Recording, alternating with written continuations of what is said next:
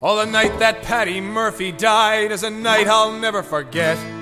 Some of the boys got loaded drunk and they ain't got sober yet.